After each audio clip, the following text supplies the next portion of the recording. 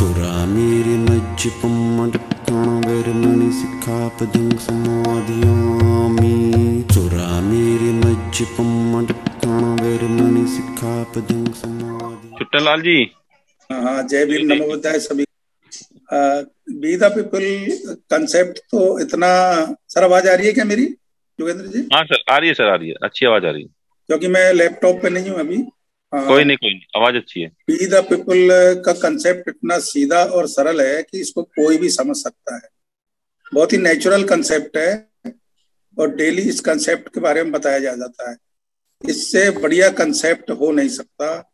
Concept को बताने में सुधीर राज जी हैं हमारे रमेश कटके सर हैं बहल साहब है करीमीर बौद्ध जी हैं और जो भी साथी डेली कंसेप्ट बताते हैं तो ये सीधा सीधा कंसेप्ट है जो सबके समझ में आ रहा है और तेज़ी से लोग जुड़ रहे हैं। और जुड़ने और जोड़ने में कोई कंसेप्ट की ज़रूरत है नहीं वैसे, क्योंकि ये नेचुरल कंसेप्ट है, हमें जुड़ना है और जोड़ना है और जीतना है। क्योंकि ये कंसेप्ट हमारा कोई नया कंसेप्ट नहीं है, हमारे पुरखों दादों का कंसेप्ट है। और ये समण संघ जो है, वो हमारा जो संघ है, वो बहुत पुराना संघ है। और बुद्ध से पहले का संघ बना हुआ है। बुद्ध भी एक संघ के सदस्य थे, ना कि संघ के नेता। तो हम देख रहे हैं कि जो संघ हमारा कमज़ोर पड़ता हुआ, पड़ता गया। अशोक सम्राट के टाइम में हम एक महाभारत कहलाते थे। हमारा जो राज्य था, वो अफ़गानिस्तान, ईरान से लेकर के इधर पूरा पूर्वी जो अपना साउथ ईस्ट एशिया है, वहाँ तक फैला हुआ था। और साउथ के अंदर भी फैला हुआ था। यानी बहुत बड़ा साम्राज्य, अशोक साम्राज्य, अशोक मान ने खड़ा किया था। वो इसलिए खड़ा किया था कि वो जो उससे पहले जो गौतम बुद्ध थे, भगवान बुद्ध थे, वो सामाजिक और राज क्रांति कर चुके थे। तो वो संघ धीरे धीरे कमज़ोर पड़ता हुआ और जो बमन लोग हैं, इन लोगों ने धीरे धीरे उस संघ को कमज़ोर कर दिया। या हमारे कुछ गलती से और धीरे धीरे बमणों का प्रवेश होने लगा और हमारा संघ कमज़ोर पड़ने लगा और हम टूटते गए और धीरे धीरे गुलाम बनते गए। लेकिन हमारे महापुरुष जो हुए हैं ज्योतिबा फूले हैं और महात्मा ज्योतिबा फूले हैं, बाबा साहेब अंबेडकर हैं, इन लोगों ने सब जो समण समण संघ के जो लोग हैं, उनको समझाया, भाई, संगत में रहिए, एकजुट रहिए, आपके ऊपर अत्याचार नहीं होंगे।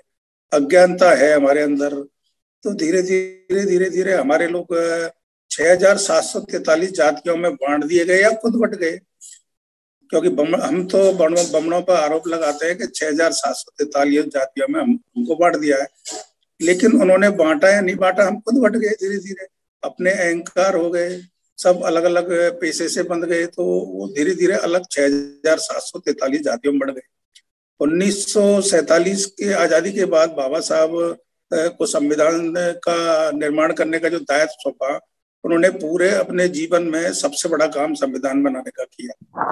और पूरा जो महापुरुषों के संघर्ष का निचोड़ है, वो संविधान में डाल दिया। तो आगे रास्ता ये दिखाएगा आपको संविधान, मैं रहूँ या नहीं रहूँ, लेकिन संविधान है जो आगे रास्ता दिखाएगा। लेकिन हमारे जो लोग हैं, जो बाबा साहब ने तीन पोटलियाँ बनाई थी, छह हज़ार सात सौ तैतालीस जातियों की उनको आगे जितने भी संगठन बनाए तो तैतालीस जातियों को जोड़ने के लिए उनतालीस लाख संगठन बना डाले। यानी आप अगर आज़ादी के बाद में कैलकुलेशन करें तो चार से पाँच संगठन डेली बन रहे हैं। छह हज़ार सात सौ तैतालीस जो जातियों को जोड़ने के लिए उनतीस लाख संगठन। ये कितनी शर्मनाक बात है। और जिसमें से चार से पाँच लाख संगठन निष्क्रिय है, सक्रिय है, बिल्कुल, सॉरी। तो वो क्या कर रहे हैं? छह हज़ार सात सौ तैतालीस जातियों को उनतीस लाख जातियों में बांट दिया है। बहुत ही काम मुश्किल हो गया है उनको जोड़ना। कोई किसी से बात नहीं करना चाहता है। सिर्फ़ उनको चंदा देते रहो तो बात करेंगे आपसे। अगर आपने चंदे के लिए मना कर दिया तो आपसे बात ही नहीं करेंगे बिल्कुल नहीं क्योंकि मैं देख रहा हूँ इस बार काफ़ी लोगों ने, हमारे लोगों ने, समण संघी लोगों ने उनको चंदा देना बंद कर दिया। तो उनकी बुराइयाँ चालू हो गई है। बोला ये तो मूल निवासी संगठनों को चंदा नहीं दे रहे हैं, ये तो ये कर रहे हैं, ये तो वो कर रहे हैं, ये कैसे सुधीर राज जी बोलते हैं आपके मूल निवासी संगठनों को? अरे भाई, संगठनों को पैसा क्या दो हम उनतीस लाख संगठनों को एक एक रुपए भी दिए तो उनतीस लाख रुपए आएँगे कहाँ से हमारे पास? और आपने क्या किया? बाबा साहब जो संविधान में जो इतने अधिकार लेके आए, वो तो सारे चले गए। हम तो रोड पे आ गए। हमारी तो सब नौकरियाँ खत्म कर गई। आपके सामने 133 सांसद बैठे हैं। वो क्या कर रहे हैं? तो उस दल के प्रतिनिधि बन के रह गए। हमारे प्रतिनिधि है ही नहीं। तो फिर हम किसको चंदा दें भैया? हमें तो जुड़ना है और जीतना है। और जुड़ने और जीतने के फ़ायदे बहुत है। दो अप्रैल 2018 को जो हमारा एट्रोसिटीज का एक्ट है वो काट के फेंक दिया था संविधान से। दो अप्रैल 2018 को हम जुटे। संघर्ष किया। हालाँकि उसमें आ, कई लोग हैं बेचारे वीर गति को प्राप्त हुए। लेकिन हमारा संविधान तो वो जो पन्ना फाड़ के फेंक दिया वो बच गया। किसान, अभी हाल का उदाहरण है, किसान भी एक साथ जुटे। बत्तीस किसान संगठन एक साथ मंच पाए कोई नेता नहीं था वहाँ। नेता की ज़रूरत भी नहीं है।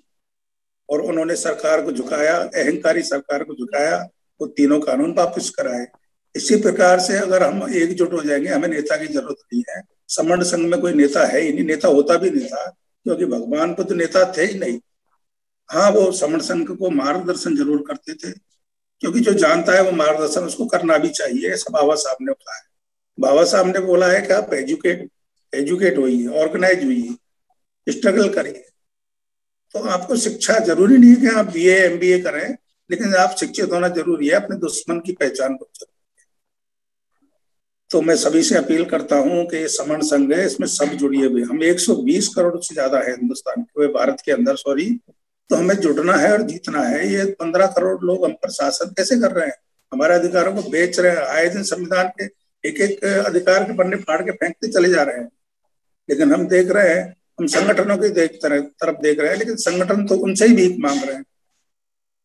तो इसलिए हमें संगठनों में नहीं जुड़ना है, हमें संघ में जुड़ना है, जहाँ का हमारा कोई नेता नहीं है।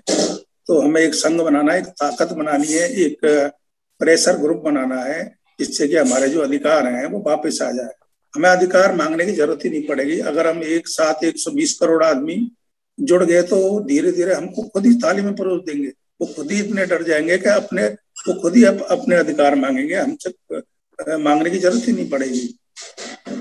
तो मेरा थोड़ा गला खराब है खांसी जुकाम हो रहा है और मैं यहीं पर मेरी बात समाप्त करता हूँ। जय भीम नमः बुद्धाय।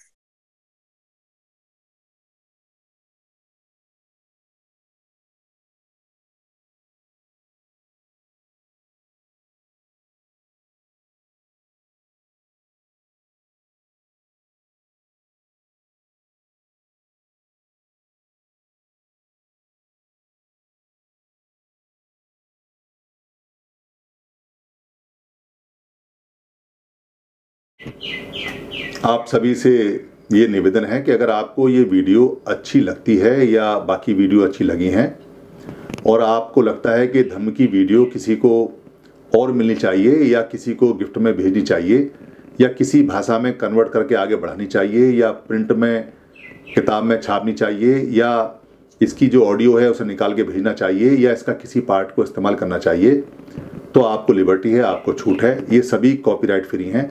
आप अपने फेसबुक पे, अपने पेज पे, अपने ट्विटर पे या अपने हैंडल पे या लिंक को कहीं भी शेयर कर सकते हैं, कहीं भी चला सकते हैं, आप यूट्यूब पे भी चला सकते हैं, अपने नाम से चला सकते हैं। इसके लिए इजाज़त लेने की या परमिशन ले, लेने की बिल्कुल भी ज़रूरत नहीं है। आप इसको अपना मान के चलाएँ, क्योंकि धम्म सबका है। हम जो बताते हैं, वो भगवान बुद्ध का है या महापुरुषों का है। उन्हीं की बात को सरल भाषा में बताते हैं। हमारा सिर्फ़ इतना राइट है इस पर कि हम इसको लोड कर देते हैं। बाकी सारी ये पूंजी आपकी है। धन्यवाद। शरणं गच्छामि